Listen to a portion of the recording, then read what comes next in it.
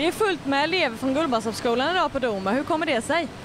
Jo, det beror på att jag och teknikläraren har ett litet samarbete för att få dem att lära sig vad teknik egentligen innebär i verkligheten. Att man använder allt det som man gör i skolan ute på företag. På det viset så blir ju tekniken också mer intressant för man ser att det här jag lär mig nu kan jag använda sen framöver. Eller åtminstone att någon använder det i sin yrkesutövning. Och jag gör det därför att jag jobbar som samordnare i skolan närsamhälle nu under två år i Smile-projektet. Just för att stödja lärare som vill ha ut sina elever på företag. Är det viktigt att ta sig an elever redan i tidigt skede? Ja, det är väldigt viktigt för att eh, vi måste ju säkra eh, anställda på sikt och det viktigaste man kan ha som företag det är ju kunniga och intresserade medarbetare. Vad har de fått göra här idag?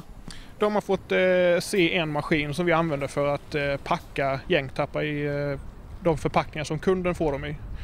Och eh, ställa lite frågor om eh, företaget och eh, vad vi gör och ja, lite miljöpåverkan och hur världen ser ut. Hur startades företaget och vem äger företaget idag? Idag ägs företaget av Sandvik, jättestor verkstadskoncern med eh, närmare 40 000 anställda i hela världen. Men det startades en gång i tiden 1889 av eh, en Malcus Holmqvist. Och då hette det Malcus AB företaget fram till eh, slutet på 60-talet. Hur är företaget organiserat? Det är ett aktiebolag. Försäljning och tillverkning är separerat. Eh, rap- rapporteras som två olika bolag men vi går under, vi ägs av Sandvik bägge två. Är det någon särskild kompetens som är viktig att ha som anställd? Alltså arbeta i produktionen här så kräver vi att man har en eh, utbildning som innebär att du kan köra CNC-styrda maskiner. Och du måste ha varit riktigt påläst i och med att de hade rätt kluriga frågor till dig. Är rätt så van vid studiebesökare. Vi har inte jättemånga men jag brukar få gå och guida lite alla möjliga typer av eh, besök. Och det här var ett av de eh, bättre på länge med eh, intressant, väldigt intressanta frågor. Blev ni mer intresserade av industrin här? Ja, Ja, lite kanske. mot förmodan. Eller vad alltså. Man köper ju färdiga eh, förpackningar liksom och nu vet vi ju hur, hur det går till innan så att lite intresserad blir man ju. Vi ska snart få en klass från Gullmarnstorpsskolan. Vad ska du visa dem idag? Nej, det kommer bli fabriken i övrigt. eh, Hur det går till, hur vi har det här, vad vi gör för någonting och eh, ja, vad vi arbetar med helt enkelt här inne i Halmstad.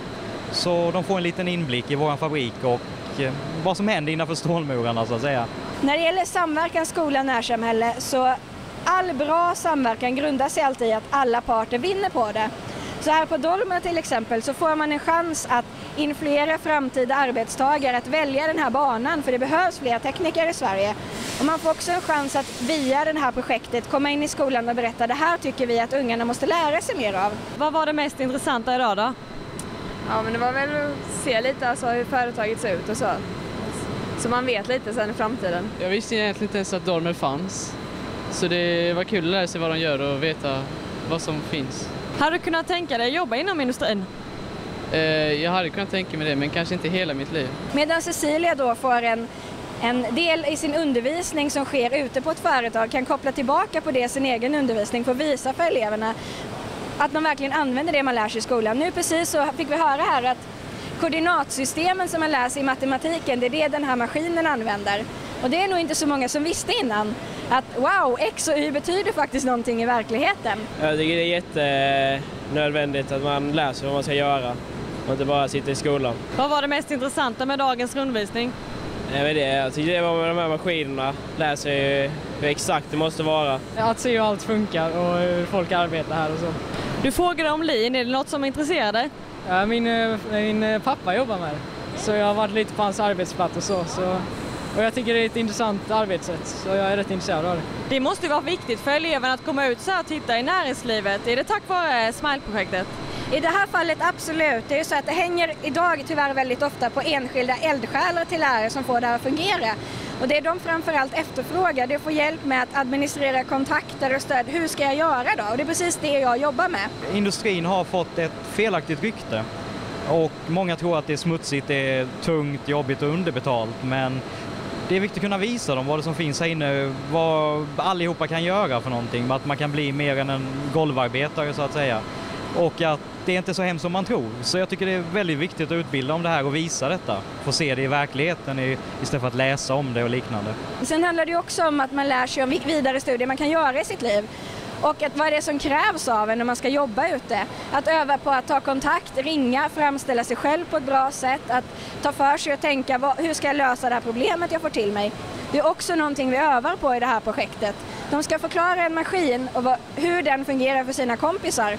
Det finns inget facit. Du kan inte slå upp sidan 182 i boken och få reda på att jaha, det var rätt svar. Man får tänka själv och ta sig an problemet och göra en lösning på det. Och det är fantastiskt viktigt för framtiden, inte minst om man tittar på vad EUs nyckelkompetenser säger, vad OECD säger att våra unga behöver lära sig. Så det är ju anledningen till varför vi gör det här helt enkelt.